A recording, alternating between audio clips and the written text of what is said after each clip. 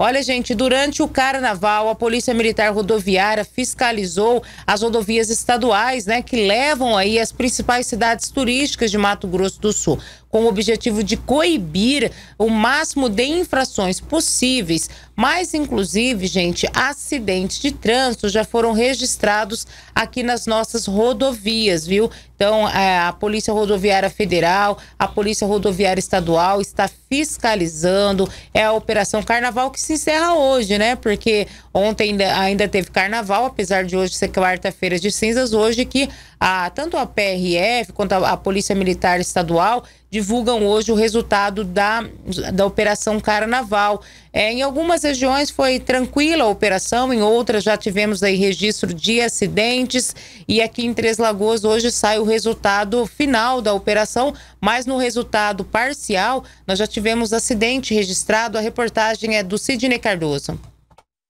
Na Operação de Carnaval 2024, a Polícia Militar Rodoviária Estadual registrou um acidente.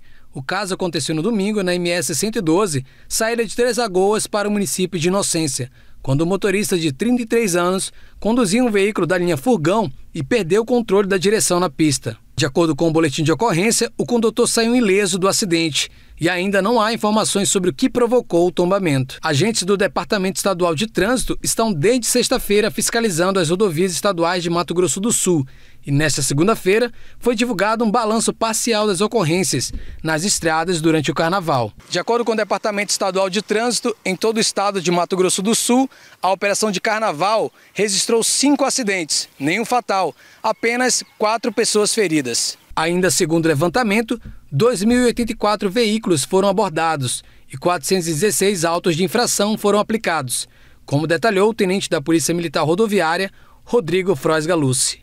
Tivemos é, o registro de 2.084 veículos abordados, 3.100 pessoas abordadas, 416 autos de infração, um veículo furtado, é, roubado, é, recuperado de outro estado, um mandado de prisão cumprido, um condutor conduzido por dirigir embriagado, uma pessoa presa em flagrante com 92 quilos de folha de coca e mil pacotes de cigarros contrabandeados, recuperados e apreendidos por equipes do Batalhão de Polícia Militar Rodoviária. A ação de fiscalização e segurança viária acontecerá até quarta-feira. E além da Blitz de Lei Seca, em parceria com as demais forças de segurança pública, os agentes de fiscalização estarão nas principais rodovias estaduais e nas cidades turísticas de maior fluxo.